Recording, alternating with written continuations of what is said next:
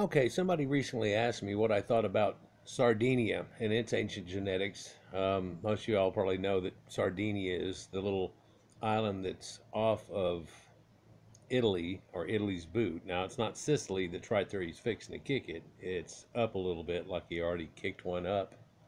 A little bit elongated right in there. Did some videos about it here a couple of years ago and whenever a genetic study came out and I wanted to do this one exactly right here and if y'all remember back in April whenever I lost my hard drive I had like 40 things lined up and I even showed them in a couple of videos like all this stuff's coming up. Well now I got 40 lined up again but this was one of the ones that I was lost and uh, it's from February 23rd of 2020 and uh, so let's look at this this is the, uh, by the way, the ancient DNA from Sardinia reveals changing genetic connectivity across the Mediterranean over 6,000 years. Okay, and this is one of the ancient sites they had there that's, um, see if I can get in good on it.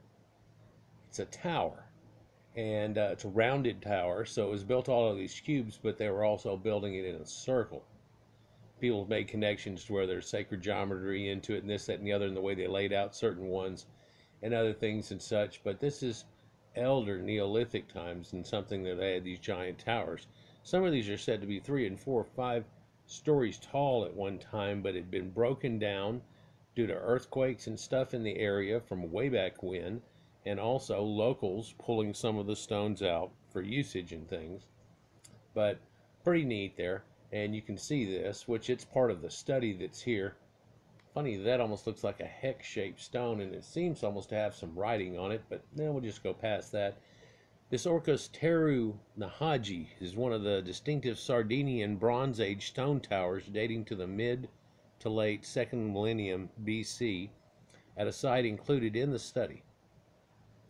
So, a new study of the genetic history of Sardinia, a Mediterranean island off the western coast of Italy, tells how the genetic ancestry on the island was relatively stable through the end of the Bronze Age, even as mainland Europe saw new ancestries arrive. The study further details how the island's genetic ancestry became more diverse and interconnected with the Mediterranean starting in the Iron Age, as Phoenician, Punic, which we know that that's colonies from there, and eventually Roman people began arriving to the islands. So at that point, they saw different genetics showing up and they were able to go through this. This is the type of study that they saw uh, or, or wanted to see in Egypt whenever they did the ancient graveyard there. And what, instead of finding actually it flip flopping through like they see somewhat here, it actually stayed a continuity that went all the way through, which was quite a different thing. In fact, some of the same geneticists are hooked up with this study that are hooked up with that. Archaeogenetics is becoming quite a thing and somewhat different, definitely, than just a regular DNA test that people are doing. Oh, wanted to talk about this. Uh, through the end of the Bronze Age, even as mainland Europe saw new ancestries arrive, and through my other videos, and if y'all have been watching my stuff, we've talked about the waves of Proto-Indo-Europeans and so on that came on, and later, you know, Anglo-Saxons and all the type of things that come out about it that led to that, and of course the mythologies that come from that and everything that went around with it, and who actually were the Picts of the Pixies and all that stuff. Anyhow, I, mean, I think we're totally fine with that. But they also said that they it became more diverse and interconnected Mediterranean starting in the Iron Age, as Phoenicians and everything, but these are all different variation groups of Caucasians. It's not really that different, but when you see that word diverse nowadays, it really does always catch your ear a little bit like, why? The research published in Nature Communications analyzed genome wide DNA data for 70 individuals from more than 20 Sardinian archaeological sites spanning roughly 6,000 years from the Middle Neolithic through the medieval period. No previous study has used genome-wide DNA extracted from the ancient remains to look at the population history of Sardinia.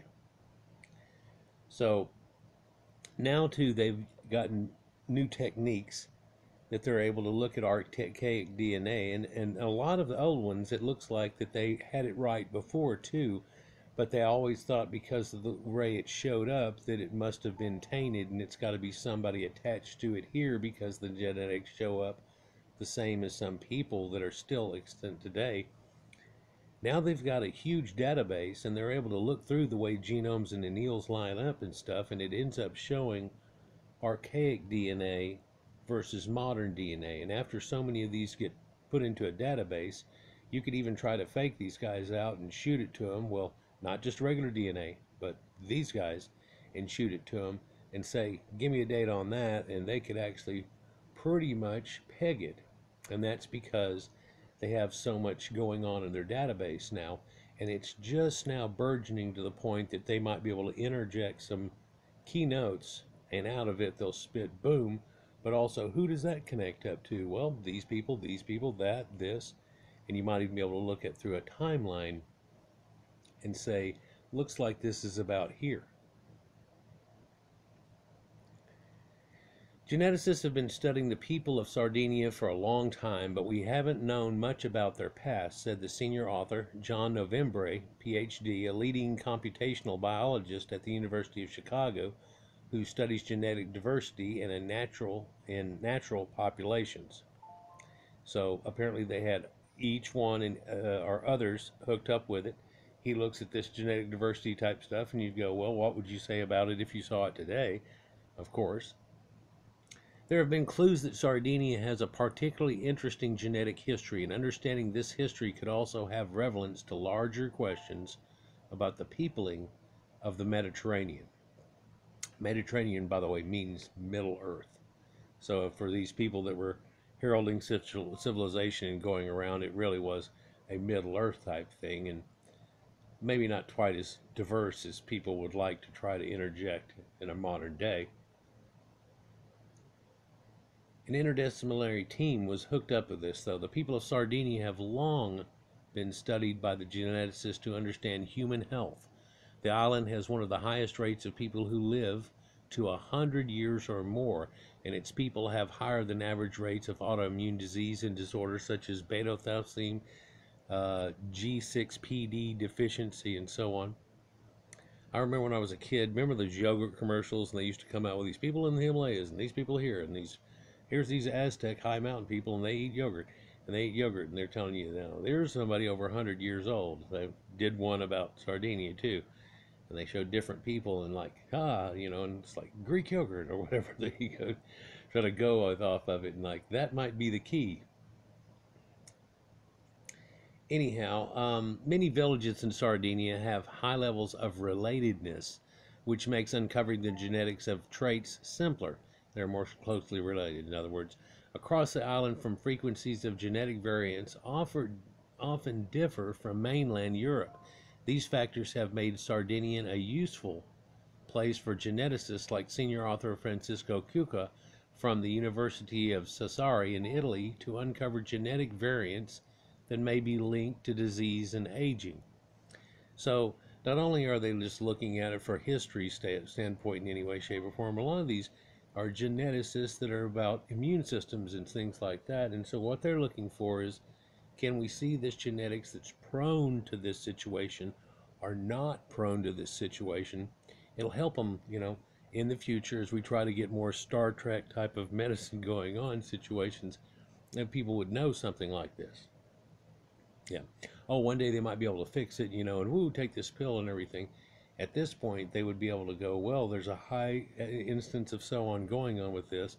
What's the variation? Well, they have this in their V-2, and nobody else has it. Well, how many of them have it? Bing, it shows up a high number and be like, look into that. You know, things along that line. Anyhow, so disease and aging, because these people live quite long on average. It's not just like that grandma lived to 103, but da da da da. No, it's like they don't get as much cardiovascular disease and all types of things. Pardon me. Contemporary Sardinians represent a reservoir for some variants that are currently very rare in continental Europe. These genetic variants are tools we can use to dissect the function of genes and the me- mechanisms that are at the basis of genetic diseases. Here's a village here. Looks like some type of Italianish type village in a sectioned land down here. That's just gorgeous. Rolling hills. Suelo, Sardinia, around which there are several cave archaeological sites that have been excavated by study of the co authors here, from which samples are collected. Sardinia also has a unique archaeological, linguistic, and cultural heritage and has been part of the Mediterranean trade network since the Neolithic age. Much of the population's genetic ancestry has changed through these times, however, has been unknown. To generate a new perspective of the genetic history of Sardinia, long term collaborators Cucca and November brought together an interdisciplinary group with geneticists, archaeologists, and ancient DNA experts a team led by Johannes Krause, who's become quite famous and in with a group of these guys that do this type of thing, at the Max Planck Institute for the Science of Human History and the University of Tübingen in Germany. He developed coordinate the sample and carried out DNA sequencing with the authentication. Teams led by November and Cucca then analyzed the data and shared the results with the whole group for an interdisciplinary interpretation. We were thrilled to be able to generate such a data set spanning 6,000 years because the relatively ancient DNA from skeletal remains from Sardinia is very challenging, said Cosimo Posth, an archaeogeneticist at the Max Planck Institute and co author of the first study here. Periods of stability and change. Well, sampling DNA from ancient remains allows scientists to get a snapshot of people living in a specific time and place instead of using modern DNA and inferring the past based on assumptions and mathematical models, which may which in most cases has no basis in fact. People realized a long time ago because of the genetics and the geographic and the way it changed, you can't turn around and say that like people try to use nowadays and say, you know, oh, well, he must have been Middle Eastern. Well, what you're calling Middle Eastern wasn't necessarily even that same way from not even too long ago. When the team compared the DNA of 70 ancient individuals collected from Sardinia to the DNA of their ancient and modern individuals, they uncovered two major patterns. First, they saw that Sardinian individuals in the Middle Neolithic period from 4100 BC to 3500 were closely related to people from mainland Europe of the time, so early European hunter gatherers. Genetic ancestry then maintained relatively stable on the island through at least the end of the Nuragic period, all the way until 900 BC. This pattern differs from other regions of mainland Europe, which experienced new ancestries entering from people moving across the continent in the Bronze Age. And we have, again, I've done videos about these people who came across the continent and Tuatha Danann and all the different waves that ended up making it and how the mythologies got twisted back on themselves as what they had done together. The results also show the development of Sardinia's distinctive Nuraghe stone towers and culture after which the Nuragic period is named did not coincide with any detectable new genetic ancestry arriving on the island. We found striking stability in ancestry from the Middle Neolithic through the end of the Nuragic period in Sardinia, says Joe Marcus, a PhD student in the Department of Human Genetics at University of Chicago and a co-first author also on the paper. Here we can see these early Neolithic Copper Age sites here, and you can tell that it's a whole area of burped out granite from long ago and that they have carved off into it this structure. Some people have said that due to these slits in here and so on that it may have uh, had boards running across it and multiple things going on top of it, effectively making this a basement or a root cellar situation. But so this is they're they're known as Domus du Janus, and we talked about Janus and how that hooks up with ancient mythology. So these domes of Janus, constructed at a time uh, as one of the sites included in the study. So this is a little bit later, perhaps too. Second, the term found evidence that the arrival of different populations across the Mediterranean, first with the Phoenicians originating from the Levant, modern day Lebanon, and Punics, whose culture centered in Carthage in modern day Tunisia. And we know that those Phoenicians called themselves Canaan, so there's your Canaanites and so on. A lot of modern day maps are starting to blur it out a lot more instead of going point, point, point in Carthage, but a whole sweeping run at one time. Then new ancestry continued to appear during the Roman period and further in the medieval period as Sardinia became historically influenced by migration of people from modern day Italy and Spain. It makes kind of sense after you look through history and stuff, but of course, Italy's just right there off the end of the boot. There was surely contact and things, but at that time there was no integration of the people that were there. There are the Etruscans too, which their genetics seem to be very much like. In fact, we're fixing to get into what their genetics are like here in just a moment.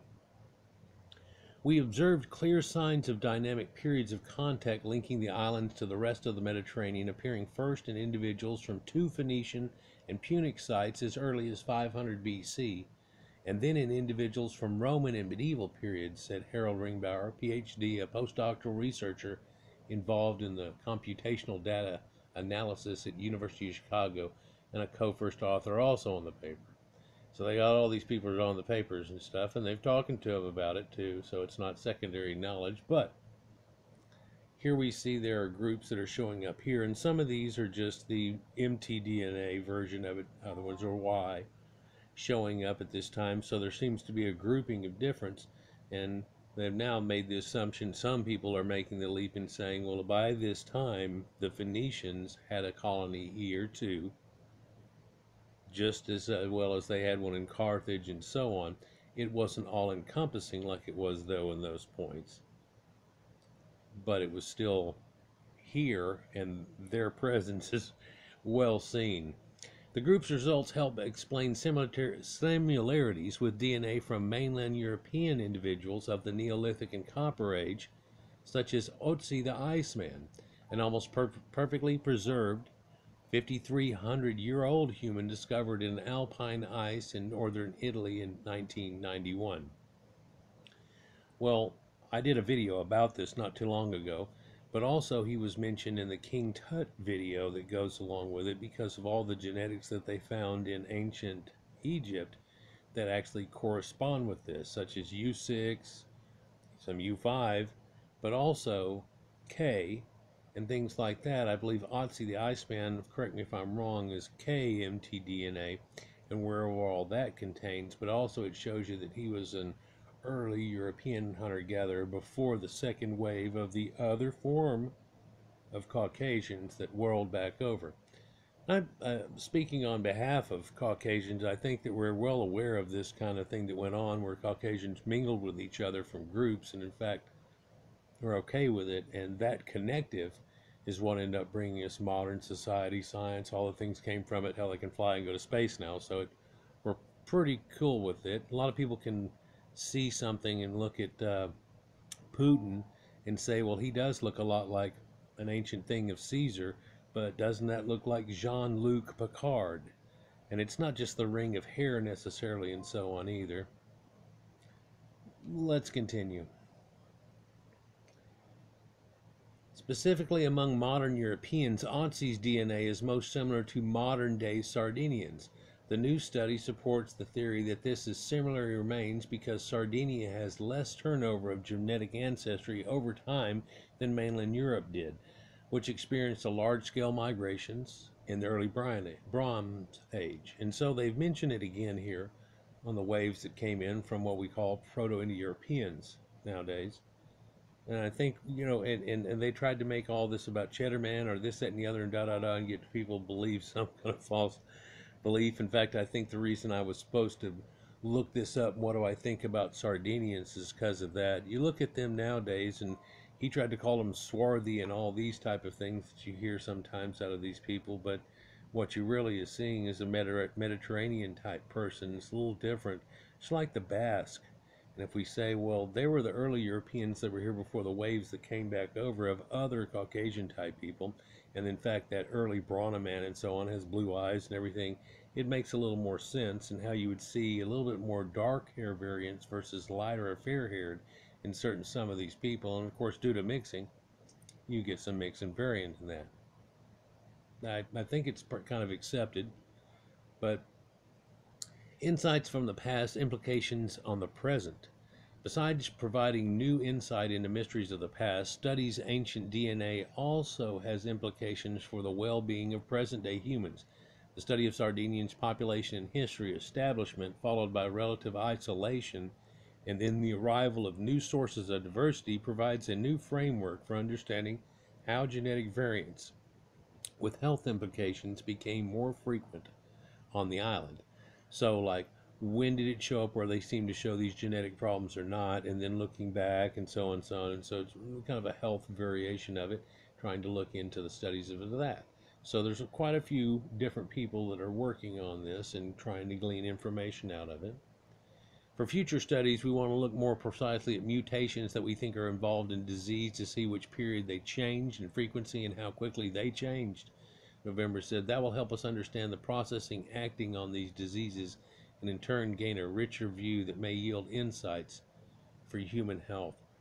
So, like I'm saying, they're they're being able to do it. You can see these additional authors here that are all through it. Wolfgang Haak, I, I recognize a lot of these people's names for the whole thing, and uh, well, hell, you can get down to the bottom, and there's David Reich from Harvard, and so on. All these people are well known about genetic and archaic genetic studies so what we find is ancient Sardinians apparently had boats and they were able to get out to these islands and then the Romans had an early previous integration with other type of people and were slightly different on a variation on a theme of that. And of course the Etruscans, you look at their art and they had a lot of redheaded blondes and so on. Of course, in the art of these people at the time, they're showing red ochre males and pale females, just like they did in Greece, Minoans, uh, the Mitanni people, and of course Egypt that we're all familiar with.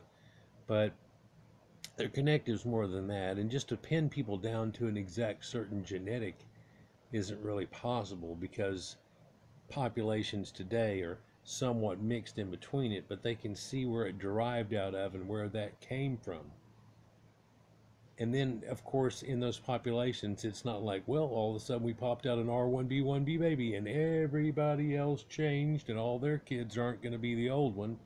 They're all no that's not the way it works. And then of course they intergress with each other and so on and that's how you get these variations on a theme. And it gets pretty complicated they, they can't just go a b c d. Well in some forms you easily can if we're just looking at well Caucasians in this form and, and A and C and B got together to form D and da da da. But that's for another video. This house is pretty cool here. Some of the other variations showed are pretty cool. Now we could go look at it real quick and uh, see here if I can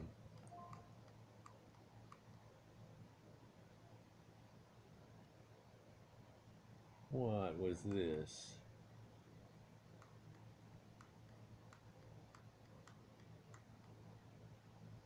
Did I lose it?